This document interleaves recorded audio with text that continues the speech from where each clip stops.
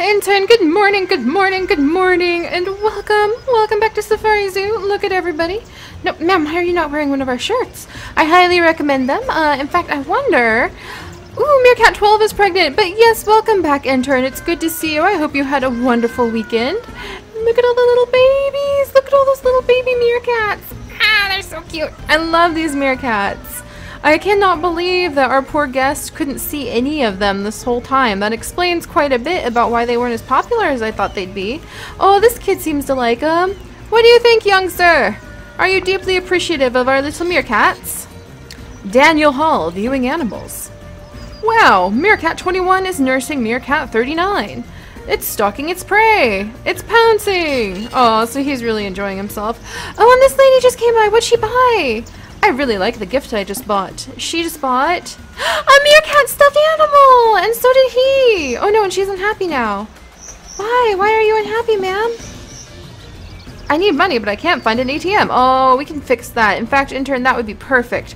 We need to deck this area out, but look, the meerkat plushies. They're so cute. I wonder if this little kid is going to come over here and get a meerkat plushie. That totally has to happen, but for that to happen, we do need to set the area up with a few amenities, such as another ATM. So let's put this over here. Um, you know, right out in the, the wide open is probably the best spot so that everyone knows where to come and find the ATM. Come here, ma'am. You really want our ATM. You're not going to get a picture. Come here. Come here. That's better. Let's see how much money she decides to take out. And where's he going?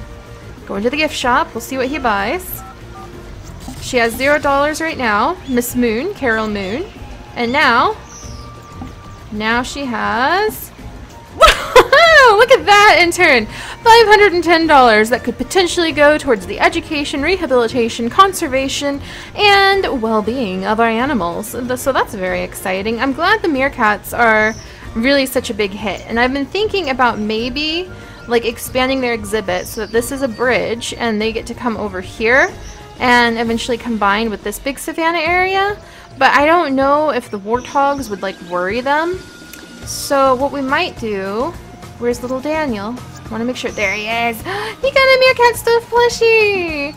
Oh, that makes me happy. And he wants to sit on a bench, so we should probably get some benches uh, in the area that people can rest a second. That'd be a nice thing to do for everybody. Maybe next to the little fountain. I imagine there's quite a few families that, like, I don't know about you, intern, but every time my family went out, we, we were like four siblings and two adults, but every time we went out, everyone always had to use the bathroom. You know what I mean? And so you'd have to like sit there and wait while the whole troop goes in to attend to their needs. There we go. And what'd she buy? What'd you get, ma'am? She also got the meerkat stuff plushie. Oh, that's awesome. I wonder what other gifts like people might start getting. Grizzly bear, uh, giant sable antelope. Hmm. We might look into that. I want to try to encourage people to like spend their moolah to take care Gelda. What is a gelada? Gelada. I don't know what that is. I don't know what that is. Now I'm really curious. We might have to go through and see how many of the animals that we sell goods for we could add into the, the zoo. White rhinoceros hit pack. We do have a white rhinoceri. I wonder if people will only buy the gifts if they're close to those animals. See, in fact, there's some white rhinoceri right here. And a, and a little, little warthog. You know, what we might try doing, intern, is putting in some of our meerkats. Oh, look at this whole little group. Hi, guys. Oh, mom and babies. That's so cute. But yeah, what we might try doing, intern is putting in, like, another colony. Get over here. Freaking. There we go. But we might try putting in another colony of meerkats into this area. These are not your babies. What you doing with these babies, huh? What you doing? Do you even know what you're doing? Oh, and the desert monitor is really hungry. What's going on over here then? How'd you get over here? Hell on earth. Okay, that's it. I'm, I'm done with these rocks for a little bit. I'll have to, to speak about these rocks elsewhere. Oh my gosh, her desert monitor's like almost dead because of all this nonsense. Quick intern! Emergency rations! Life food! A couple shanks of beef. There we go. That was quick work. He didn't wait like but a second. And now he, he killed the little thing and now he wants to eat the beef that isn't moving. That's fine. Alright, let's get down here. Sorry, buddy. Let's heal you up. Slip some antibiotics into that meat and hopefully it'll get healed up. Curse those rocks. I'm really gonna have to have, have words. Alright, so back over to our meerkats. I believe everything is going well over here. So, whew, course this isn't the only one of our old zoos that we need to double check on and make sure everything's alright in. So now that our zookeepers are frantically going to and fro, we have gotten the lemurs to be happy, even though we're still renovating their exhibit with new plants. The warthogs we no longer have to worry over. Uh, the meerkats are clearly very happy and exceptionally numerous. So I think it would be kind of nice if we were able to uh, like split the colonies and maybe we can have multiple colonies we can keep track of. And we can give those colonies little names. Oh, it would be so fun. So we might try moving a batch of them in with the warthogs and the rhinos, or even in with giraffes and the zebras, who are going to visit now. Because it has been in, like, donkey years, or zebra years, I suppose we could say, since I've come over here. Oh, watch out for the little bee eater, big guy. Look at you! Since we've seen our giraffes, eye giraffes, our reticulated giraffes, snoozing giraffe. But it's been donkey's years since we've come over. Look at the baby! Oh, you're so cute! You're so cute! I forgot how beautiful this exhibit is, too. Hi, buddy! Man, that's gorgeous. Meerkat 12 is gonna give birth. Oh, look at the tiny little bee eater eggs! Do you see them? Oh, precious. That's really cute. Alright. Yeah, the bee eater eggs. Zebra duiker. 9 is really hungry. We'll have to take care of that in a second, too. Meerkat 20 is pregnant. Alright, there's a bunch of baby bee eaters wandering by. I wonder if they're getting enough food. Oh, what, what, what's this? Oh no! Carcass of southern bee eater 30. That's horrible. That answers the question of if they're getting enough food. Oh my gosh. Oh, bee eaters, hang on! Now the bee eaters are very important because they're they are helpful. A lot of the birds in the savanna areas will actually go around. Okay. Oh no! Oh no! Oh dear. But a lot of the small birds will eat parasites off of the bigger animals like, oh goodness, you're so pretty. Do you have any idea how pretty you are? Yeah. Yeah, well, I'm significantly impressed too. There you go. There you go. Very lovely. Whoops, dips. Very lovely. Oh, Reticulated Giraffe 6 just died of old age. Just as we get over here, too. Alright. Oh my gosh! There's dead bee eaters everywhere! This is horrible! Where's our zookeepers? Why are they not attending to this? Oh my goodness gracious. Is it a bee eater that's stopping the Jeep tour? What's stopping the Jeep tour? I don't see anything. Oh, it was these baby bee eaters. Oh, hello everyone. Apologies for the baby bee eaters being being a bit dorky. Come here, come here. No, no, no, you guys don't want to get in the way. Stop that. Stop that, bee eaters. Oh dear. There we go. Now they're moving again. Poor little jeeps. Poor little bee eaters. You, sir, are you fully assigned to this area? Oh, he's like trying to heal the bee eaters. Where's his assignment? Yeah, he's fully assigned to this area, so he's in charge of this zone. Um, I'll get him a friend to help out, because this... So many dead bee eaters! That's not good! Alright, and we'll assign you here as well. And this will be, uh, bee eater, keeper. There we go. So let's see what we can do for the little bee eaters and our big old giraffes. Uh, let's see. Yeah, there we go. Scooping up the poop. I wonder if we can add in some other critters into this area as well. I don't think our zebra numbers are very high either. I've only seen a couple. How many zebra do we have? Do we need a new herd? Oh, goodness. Oh, goodness. Oh, dear. Oh, dear. Maybe we should keep a very low bee eater population. They don't seem to thrive here in our zoo very well. Let's adopt some of these guys out to areas that they might perhaps be more comfortable in. There we go. And where on earth are our...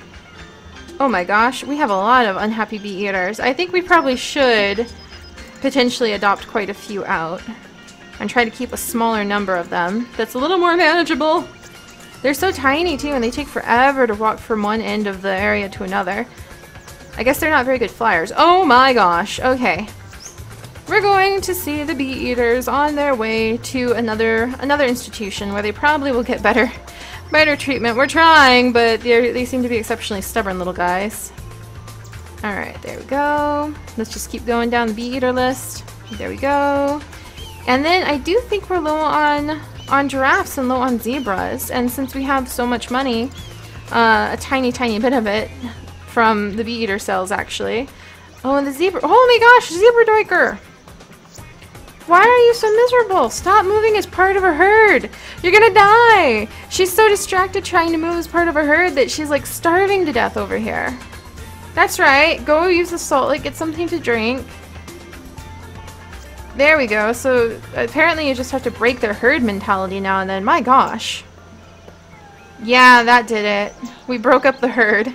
And now they're all like, Salt Lick! Look at them swarm on the Salt Lick! Oh my gosh. Look at all this. There you go, guys. Everybody's suddenly like, we were in a trance. We couldn't stop. We couldn't stop, and now we're free again. Free again. Oh, well, we'll have to keep an eye on them, too. Stubborn little things. Stubborn, stubborn, stubborn little things. Taking care of all of our zoo residents is a little bit, a little bit tricky sometimes. Alright, come here, little bee eater. And we're gonna send you out too. They're just so tiny, they don't do very well. They just don't. Alright. But that's okay, because even though we're kind of swapping out the itty bitty bee eaters, who probably need a much smaller exhibit to be uh, fully content and happy and healthy. There we go. Alright, that should, uh, in view. There we go. That should do it. Now let's see how many of the reticulated giraffes. We're out of reticulated giraffes. We just have one. So I think we need to get more giraffes and we need to get more zebra most likely. Ooh, lemur's about to give birth. Oh, lemur 25 just gave birth. How wonderful. And then a whole bunch of meerkats. I think it will be fun to try out having like multiple meerkat exhibits. Oh, a desert monitor egg. Wonderful. The Gila monsters are doing well. Black rhinos are doing well. We have our white rhinos. Okay, okay. Lots and lots of these guys. Spurred tortoises, warthogs, quite a few. Plain zebras. We have three. Okay, so it looks like what we are going to be doing is adding in more giraffes and more zebras, and we might see what other things we can add into this particular exhibit while we're at it because we aren't doing that great with with the um the wee little uh bee eaters it seems. Alright, so let's see. Come here. Savannah, Savannah, uh, tropical Savannah? Sure enough. Alright. We should get some cool names again for the zebras. Oh, and we're losing stars! Alright, let's see. Uh, let's do a nice herd of six females. And then we'll add in one male for now. And eventually we might have another young male come in. Oh, look at them. Oh, so pretty. We need some good names for them too. Whoops. Keep messing around with that. We do need some good names for them. I definitely want to name one of them Zelda the zebra, and Zoro will be the male. So Zora and Zelda. Let's try to go with Z names. Z names are so uncommon. This is our little male? Yes, it sure is. So Zoro. And then I'm going to name one of the females, the first female he mates with, uh, I will name Zelda. So that'll be that. Hi guys! Welcome, welcome to our zoo. Welcome to the Safari Zone. So happy to have you guys with us. I'm to put out like a few little places where you can get some more food. Oh, that got their attention. And then I'll put out some carrots. That's probably to get their attention too. Uh, let's put a salt lick over, over here. And where are the guests? I'll put a scratching post right there. Whoops. Come here, African daisies. The giraffes are being stubborn as usual, standing in front of everybody. That's fine, that's fine. Look at everybody come for the carrots. They're like, yes! Carrots! So yummy! There you go. Hey, hey, don't be greedy! Even the bee eater's like, I want some carrot. That's adorable. I wonder why on earth the plain zebra would be interested in a monkey bridge. That's just silly. Alright, and there should be enough shade structures and everything for them. Oh, look, she's just gonna lay down right there. Aren't you cute? Waiting to mate with Zoro. Well, hello, Zelda. That was that was rather quick. It's good to see you. Nice to meet you. Uh, I guess we might as well observe the cycle of life, perhaps? Alright, so is that Zoro? There's a little teensy bee eater. You see her? Way down there. Hello, zebra zebra. Alright, is that Zoro? Oh, I, yep. So here they are. This is Zoro to the left, Zelda to the right, and they're currently uh, making new new zebra babies at the moment. And then there's this one who just seems to be like giving them both a little lick. Man, how amazing would it have been to be able to see more of the like prehistoric or even just some of the extinct equine sort of species, these kinds of, of, of critters. Equine, I don't think these guys are equine related though. Is she pregnant? No, not yet, but she has mated with Zoro. Uh, oh, and her mother is actually Plain Zebra 10, so this is one of the zebra that has been here before. She's integrated herself into the new herd. That makes me very happy. Zoro, do you need a bath? He looks like he needs a good bath. Hmm. No, he's, he's okay. Alright. Hello, beautiful giraffe. So let's go ahead and we'll get some giraffes in here. Ooh, African wild dogs! We definitely need to get an exhibit with African wild dogs in the future. And a serval. And ostriches and lions. And, oh man, elephants. Oh, this is going to be awesome. I wonder if we could put a crane in here. I think a crane would get along okay in here. That'll be for a little bit, though. We're not going to be here the whole week after all, intern. So right now it's just about maintaining the exhibits we have. And then we need to go and check on some of our other zoos. Alright, so Eye Giraffe. I'll do one male. Let's add in uh, three females. And then I believe the reticulated giraffe is smaller. Yeah, by the looks of it. So I'm going to add in a couple females and one male of the reticulated. And let's see how they all get along. Hi guys, welcome.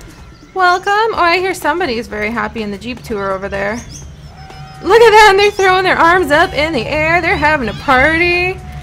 Oh, maybe we should get more Jeeps going. I think we'll get some more Jeeps going in just a minute to try to encourage more people. more dead bee eaters. Yeah, I think we'll try cranes. Cranes and other things. The bee eaters don't seem to be doing well in, in here. They need a much smaller exhibit, unfortunately. Apparently out of the wild, they're just not as adept at moving about. Oh, hello everyone! Oh, look at you! Oh, it's a bit of baby bee eater. Oh, is that so? Wow. Oh my gosh, they're so cool. Oh no, there's another one! I thought I found all of the dead bee eaters. Why are there more? We got rid of, like, all the ones that weren't doing very well and not flourishing in our zoo. Oh, I guess some of them are dying of old age. That's true. Alright, let's see. These guys seem okay. Poor little bee eaters having to constantly like look out for them. Alright, and I don't see any expired bee eaters. Okay, I think we're good, intern. I think that we have uh, managed quite well. And I think the only thing that I really want to work on now before we, we I think we will try moving in one of the groups of meerkats, maybe just a small group of meerkats, uh, a good little, a good little uh, mob of them. And so we'll get a mob of meerkats from our current population, try to find ones that are unrelated, and move like a female and a male, which will be like the leaders, and then maybe a few of their siblings in with them, and see how that works out. Alright. Uh, where, oh where is our traveler, Savannah? What is it called? Savannah, where are you? Temperate, Savannah. Where on earth is it? Alright. Now that would be temperate forest, temperate rainforest, scrubland, the hot tropical savanna. There we go. Alright, so shallow water. Alright, intern, do you have the shovel? Good job. Gently now, gently. Want to give him a little place to drink from. Over here we need to put down some fresh, from some fresh sod. There we go. Mm-hmm. Good, good, good. And now we're going to try to smooth out the edges of this lake a little bit. There we go. Alright, hopefully that'll help the animals out. They seem to already be getting in and out much, much easier. Oh look, there's a squeaky toy in the water. We'll have to fish that out and toss it up for them to play with. There we go. There you go, guys. Who's blocking the way now? It's always the bee eaters because they can't move very fast. At least that gives these guys a really great view of the bee eaters. I don't know, I would be fine. Like if I got on a jeep tour and like we had to sit and just stare at like a giraffe, I could probably be pretty happy there for a couple hours. There, that should do that. Oh, look, somebody's peeking in. What do you see? What do you see? I want to know what you see, ma'am. Her meerkat toy just disappeared from her inventory. Using the binoculars. Favorite animal? The alpine ibex. Interesting, that seems to be a favorite with a lot of these people. Cool, the binoculars can see really far. It looks like southern bee eater 90 needs something to drink. I'm sorry, I'm trying. I'm trying. Ah. Alright, and we'll have to see how we can get everything up to uh, level 5 again. Probably more creatures. So let's see. No number of animals is great, number of species is great. We need to make more educational habitats. We need to increase guest happiness and release to the wild. Oh, and the awards and challenge goals. Do we have anything handed down challenge-wise from our bosses right now? I haven't checked in a very long time. You were approved to write an article about even-toed ungulates. They want three specific pictures. They want you to get a picture of a camel, gemsbok, and Thomson's gazelle.